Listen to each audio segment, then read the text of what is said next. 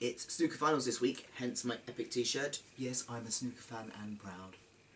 So, question and answers vlog regarding surgery. I get loads of questions across Tumblr and Facebook and here, so I thought it would be a really good idea to just put them all in one place. So thank you all very much for your questions regarding lower surgery. Let's get to it.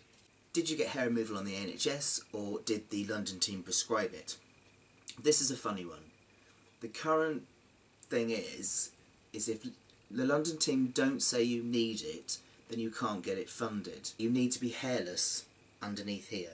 They use the underneath bit to make the urethra, so you don't want hair in that bit because obviously hair in the urethra pipe is really not healthy. So if you have hair there, you will be likely be referred. I had some hair there, um, but my arm was particularly hairy, but with my clinic, my therapist simply just put the referral through. I then got a list of clinics that were near my area that would do it, um, and then I just made an appointment. So it's worth checking with your gender clinic to see if they will do the referral, and if not, it's worth asking for your doctor as well. Did you need your partner to help you full time when you were healing, or was he still able to work? I needed Drew, and he was amazing to take some time off with me.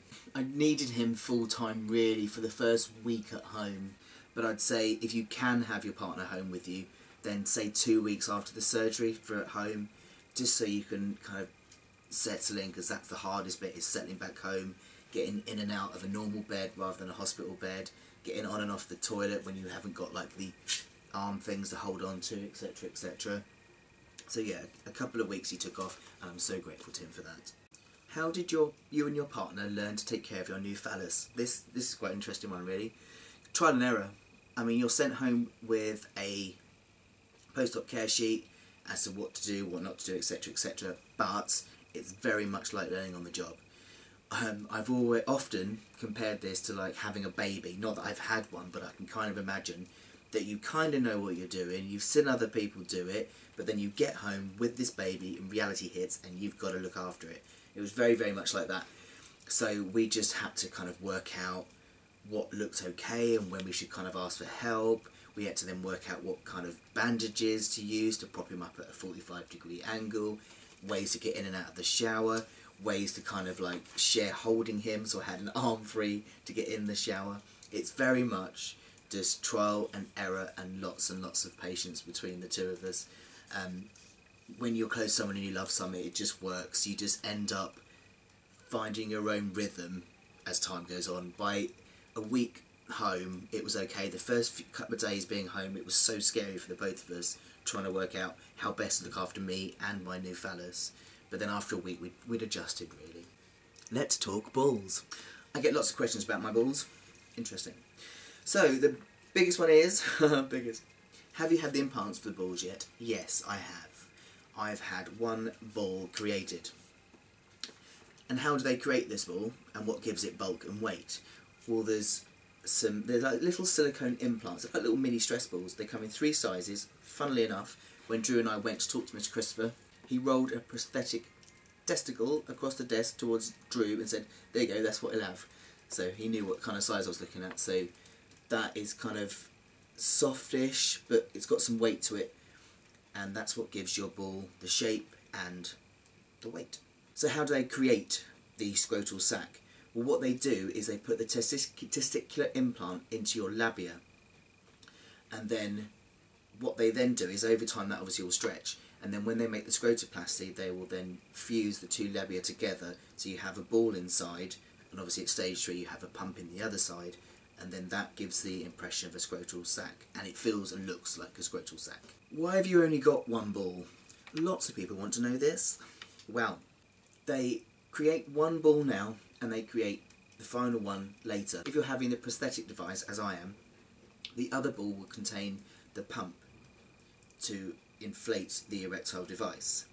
So, in early stages, they'll create you one ball because they need to put the pump into a healed cavity. So, by having the ball done early, at the later stage, they rem remove the testicle implant and then replace it with a pump and then using that testi testicular implant, I can't even say this, they put it into the other ball.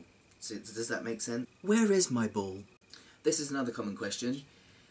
Mr. Christopher especially likes to mix things up. So some people get a ball in the first stage, some people get a ball in the second stage. Everybody, of course, gets all their balls in the third stage. So of course some people come home and go, where is my ball? Well, if you haven't got it done at first, you'll usually have it done at the second. However, they are at the moment saying that they're not going to do any testicular implants until the third stage. They'll create the scrotum in the early operations, but they won't actually put the testicular prosthesis in until the final stage.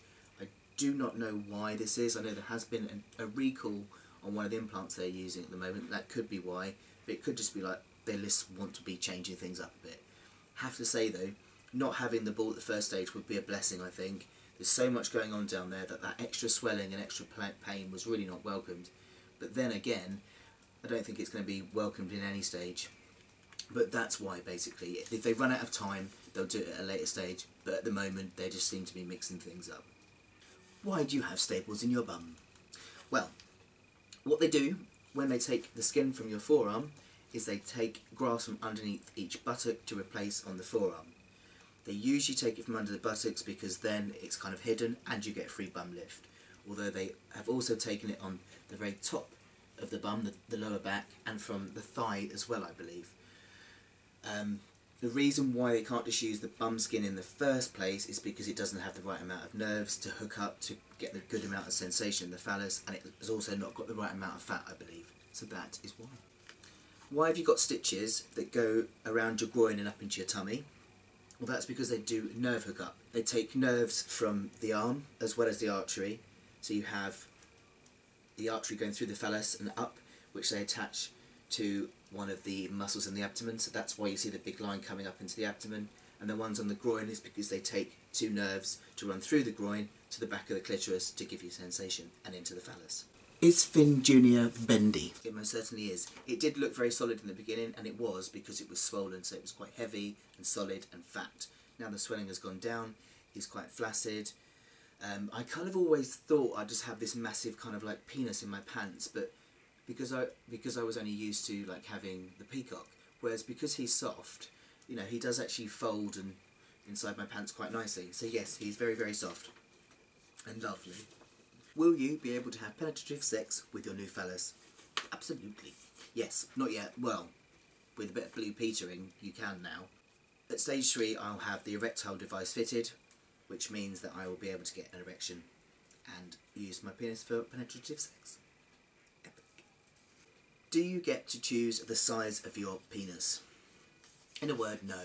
It all depends on how much skin you have on your forearm. London team tend to go between four and five and a half inches, I believe. The trouble is, if you go too too big, you've then got to hook up the urethra, and the longer you've got to kind of extend it, obviously, the more issues they have. so it does depend, as I say, on the amount of skin you've got in your forearm, and they don't want it too big because of the urethral hookup issue. Saying that though, you can discuss with them if you want a smaller phallus. I did actually discuss that in early days myself when I was concerned about the arm graft and what have you.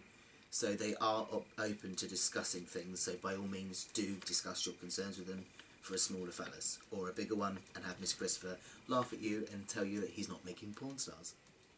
Do you get to choose how the head of the penis looks? I.e., can you choose an uncut foreskin look for aesthetics?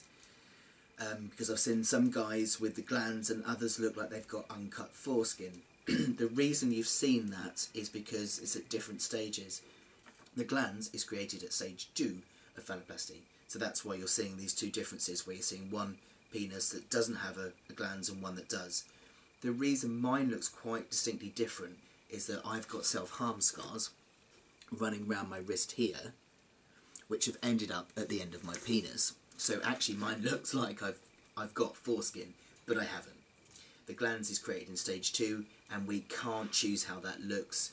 We just get given what looks like a circumcised male penis head. Do you have any sensation and we, when you have sex will you be able to feel it? Yes, eventually I will be able to feel it. Um, the nerves, the, hook, the nerve hookup I talked about earlier gives you sensation in your penis, both tactile and erotic sensation. So the end goal is, and is very good with forearm phalloplasty, to be able to have an orgasm through a penis. It takes a while for nerves to grow back, so you know they say kind of upwards for a year you're still developing sensation, and obviously with having operations, things are going to keep going numb. So Some sensation will come back between operations, but full sensation won't come back completely until you're left alone to heal and the nerves can then grow back.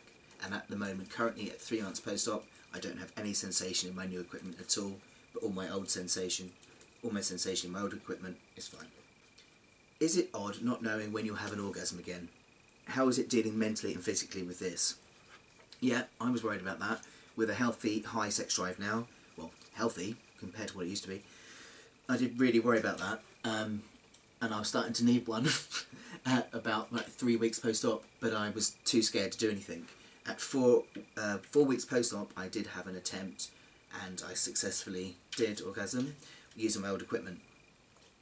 Now at three months post op, Drew and I are having sex again with a little bit of help from Blue Peter, and it's all fine. So actually, you don't have to wait that long between stages at all. There are ways around it, and you just have to get to know your new body and the way things work, and just be a little bit creative. Okay, so I hope that answers all of your questions. Thank you so much for sending them in. I will post a copy of all of these questions so far onto my Tumblr blog so you can see them all in detail. I've had some fantastic questions from people that warrant whole videos in themselves. So the first of those will be uploaded this Wednesday and that's regarding coping with life around transition. So how do you manage to just carry on living day to day while still having to have surgical interventions and what have you? Fantastic question. So that will be uploaded on Wednesday, so keep your eyes out for that. In the meantime, have a fantastic week, everybody.